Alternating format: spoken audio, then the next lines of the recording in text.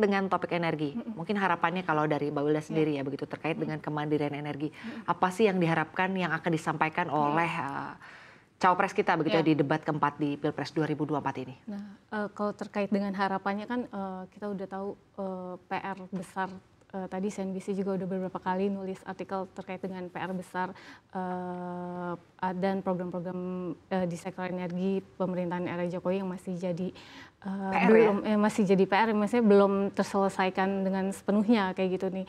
Misalnya eh, saya sih berharap misalnya dari kayak Prof Mahfud tadi yang sempat disinggung Iqbal juga kan eh, dia dulu pernah eh, saat jadi ketua hakim MK dia membubarkan eh, BP Migas itu Badan Pelaksana eh, Hulu Migas. Nah ini dan efeknya sampai sekarang tuh jadi kayak masih ada cuma badan sementara doang namanya SKK Migas. Nah, sedangkan dia juga eh, Prof Mahfud kan juga udah di pemerintahan Jokowi eh, di kabinet yang sekarang itu juga eh, belum bisa memberikan rekomendasi nih atas eh, badan eh, yang bisa bersifatnya apa permanen, Permanen. kayak gitu menggantikan badan yang sementara. Eh, karena bagaimanapun ini kan eh, terkait dengan badan hulu migas itu kan terkait dengan eh, investor eh, mengundang investor hulu migas. Kita tahu PR salah satu PR besar itu kita produksi minyak kita yang anjlok terus. Maksudnya tiap tahun tiap tahun udah anjlok tuh. Bagaimana untuk bisa meningkatkan? nah bagaimana?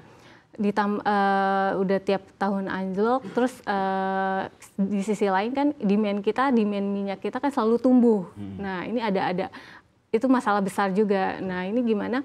Eh, biar ada badan-badan baru yang benar-benar permanen yang bisa ibaratnya memberikan kenyamanan dan memberikan kepastian hukum bagi si investor. Jadi dia eh, bisa yakin untuk eh, berinvestasi eh, di eh, Indonesia gitu khususnya di hulu migas. Apalagi hulu migas ini kan sebenarnya dia investasi jangka panjang nggak nggak cuma setahun dua tahun lima tahun. Bahkan dia untuk dari menemukan eksplorasi sampai produksi aja tuh bisa lebih dari 10 tahun. Bahkan kayak kasus eh, yang di proyek besar di Blok Masela yang di eh, Maluku itu juga bisa dibilang ham 20 tahun lebih itu sampai sekarang belum diproduksi. Padahal itu udah ditemukan ada sumber daya gasnya yang luar biasa eh, jumlahnya. Tapi sampai sekarang nyatanya belum bisa juga berproduksi. Nah ini kan apa artinya eh, di sis- investor tuh ju- juga butuh kepastian eh, kepastian hukum kepastian eh, investasi Kepastian dari, kenyamanan berinvestasi iya. atau mungkin eh, Seperti artinya paket-paket apa saja yang Iya, ditawarkan oleh iya, pemerintah ya iya, agar artinya investor ini mau atau Mau. ingin berinvestasi Iya, di apalagi Indonesia dia- seiring dengan upaya mungkin untuk bisa meningkatkan produksi minyak apalagi permintaannya meningkat ya makin Mbak Wilda. meningkat, iya. benar. Walaupun ada transisi energi, tapi tetap nanti kita eh, tren eh, kebutuhan minyak tetap dari sisi volume pasti akan ti- tinggi. Walaupun dari sisi nanti persentase minyak minyak dan gas bumi mungkin akan lebih rendah karena ada energi terbarukan dan energi lainnya.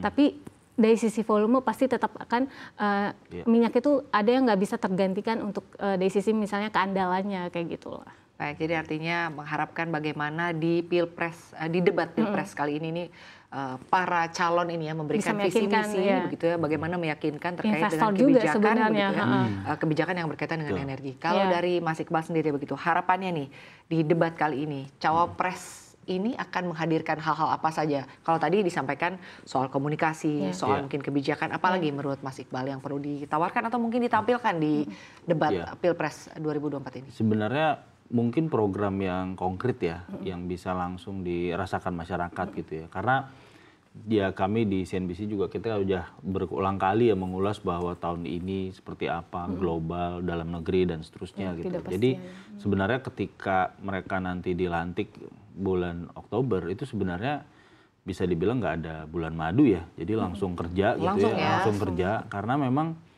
situasinya tahun ini juga tahun lalu kan kita pasca pandemi lah ya. Iya. banyak yang mengeluhkan bahwa situasinya berat gitu. tahun ini pun sama. Kalau kita bicara dengan teman-teman analis teman-teman investor pengusaha situasinya ternyata masih sama. Dan pemberatnya memang salah satunya pemilihan presiden ini gitu kan jadi memang kalau investor pengusaha pasti kan pengen cepet pasti aja lah gitu loh Iya. makanya kalau saya lihat ya yang ditawarkan itu nanti ke depannya lebih baik adalah sesuatu yang konkret aja gitu. loh. Jadi ketika mereka terpilih, langkah apa yang mereka lakukan secara cepat gitu. loh. Jadi misalkan untuk isu energi tadi misalkan, Baik. konkretnya apa nih? Misalkan untuk mengundang raksasa migas yang sering banget Uni Wilda dan tim tulis itu yang pada kabur, Pada pada, kabur. hijrah, Baik. balik lagi Hengkang. gitu loh, Baik. balik lagi untuk Iya. investasi misalkan, atau misalkan untuk pangan, beras seperti apa, masa Seperti impor apa dari solusinya Iya. begitu Di ya. sisi- konkret aja gitu, iya, masa iya. impor Kamboja Baik. dan seterusnya gitu kan. Di Itu sisi yang lain, pangan juga berkaitan sama Iya. energi. Kayak Iya. eh, Benar. pangan itu bisa diversifikasi bahan baku minyak sebenarnya kayak Betul. yang kita lakukan di biodiesel itu juga sukses Biodiesel, untuk mengurangi benar, benar. impor kita. Kayak gitu. Nah ini Benar, PR-nya benar. di impor BBM. Banyak kayak PR gitu. intinya. Banyak PR.